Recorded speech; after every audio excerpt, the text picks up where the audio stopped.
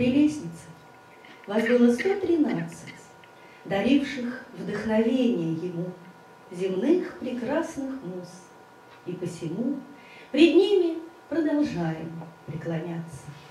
Вам был подвластен лиры тонкий звук, а вас, плеяды грации яснооких, уж третий век вызванивают строки, одаривая счастьем тайных мук читателя.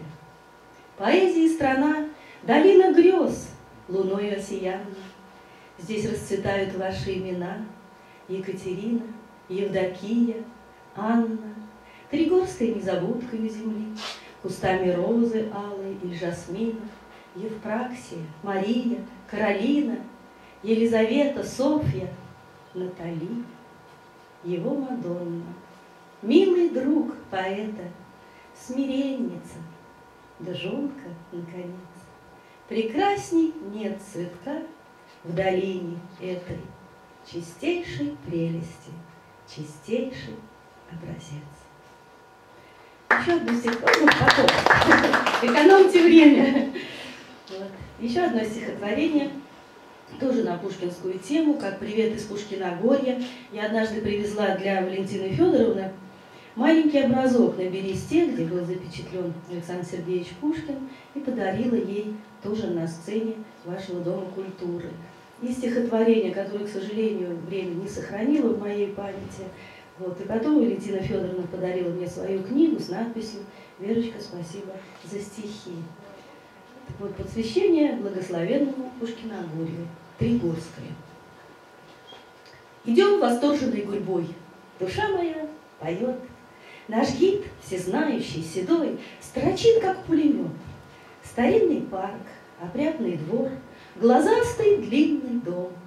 Могучий лягушиный хор восходит над прудом, под певкой птичьи голоса, и мугамона нет. Гостят на клумбах небеса, льют незабудок свет, и в комнатах встречают нас их ясные глаза. Обилием цветов и вас украшен каждый зал, а в доме грусть.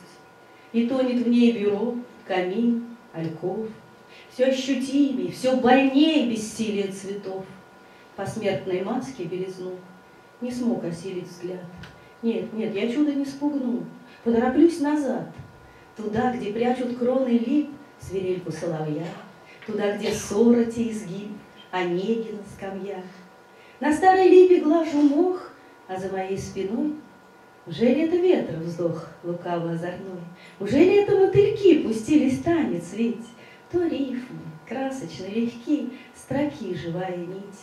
Не зря нашептывает пруд, что здесь до петухов Русалки дружно зори ткут из пушкинских стихов.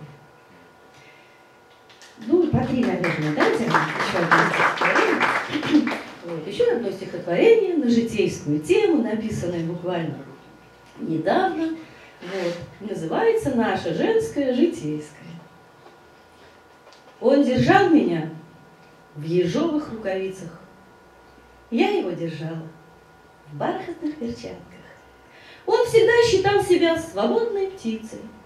Я свекровушке писала, все в порядке. И дурными не делилась новостями. Разве можно огорчать вторую маму? Пусть не знает, что сынок живет не с нами, что содержит сногсшибательную даму. Лишь бы люди ей не ляпнули про это. А сама я притворюсь легко и ловко. Как и прежде повезу внучат на лето И совру, что папка их командировки. Так совру, что и сама поверю сказке.